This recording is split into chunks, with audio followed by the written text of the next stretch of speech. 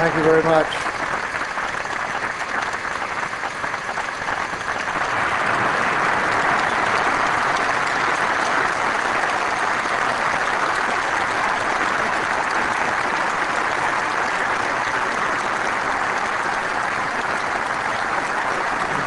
Thank you very much.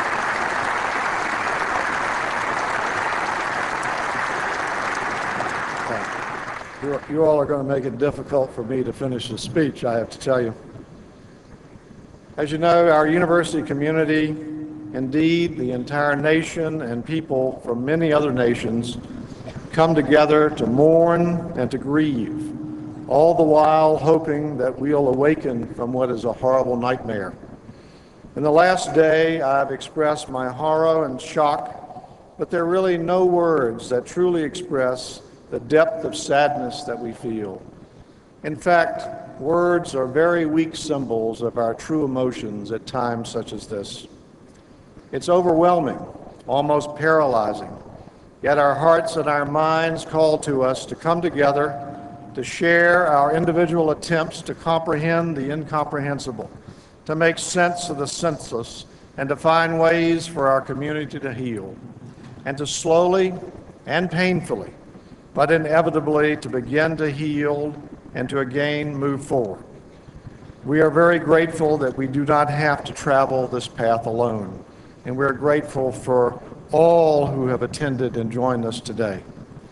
The expressions of sympathy and support that have poured in from all corners of our nation and from around the world, literally from around the world, have touched us.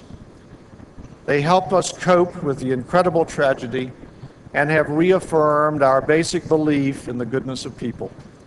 We want to thank all the members, the local, state, and federal law enforcement agencies, especially the Virginia Tech Police, the Blacksburg Police, the Virginia State Police, and all the emergency responders who rushed to our aid, who continue to monitor our campus, and who have the additional horror of investigating this catastrophe.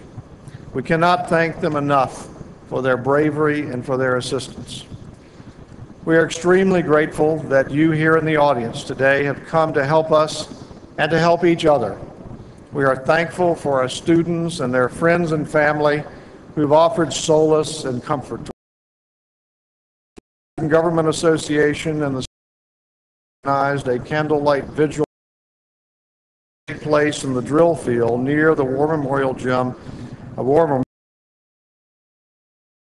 as I've mentioned previously, but I want to emphasize, there is counseling available to members of the university community at the McComas Center and for faculty and in the Brush Mountain Room. We see further testimony community yesterday had just on friends and family of people from around the world and to begin to heal. President George W. Bush, Bush. We're very grateful for your. Also, Virginia Governor Tim Kaine, Lady Anne Holton, all of the members of the U.S. Congress, Representative Bowling, Lieutenant Governor, Virginia Attorney General Bob, members of the General Assembly, as well as Council and other are concerned.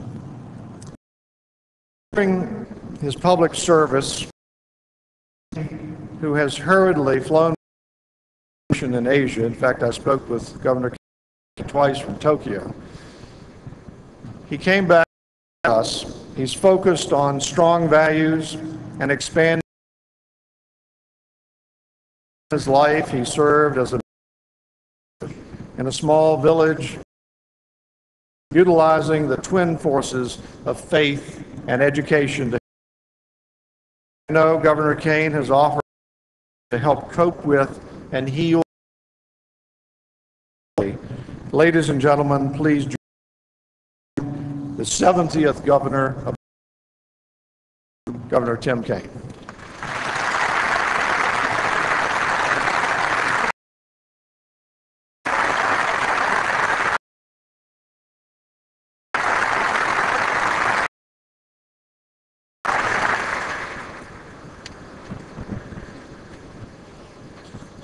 President and Mrs.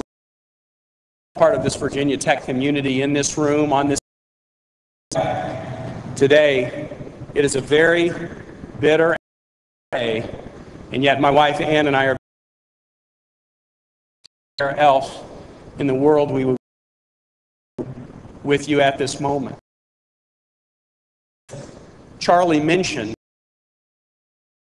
left on Sunday morning from Richmond to go on a two-week trade mission. One of the events is actually a, an event, a wonderful program of in Tokyo in the hotel for about five hours when we were all about one in the morning report the horrible tragedy and we were stunned home we need to be with this community that that we care so much about. And not being able to get home for about 10 hours. And so we did what doing in the last watching to get news about how the campus was handling it. Across the world and seeing this campus and what you you showing to the world. And campus what you showed to the world yesterday amazing thing. Again in all these ask what they thought about their grief was real and very the questions were deep and troubling. Came back to wearing wearing the Virginia Tech caps was the incredible community on this campus. And and how it's about who was to blame or what could take care of each other on this sad day. To see how well you represented yourself to a worldwide community. That are called forth by a significant as this. Grieving, have unashamed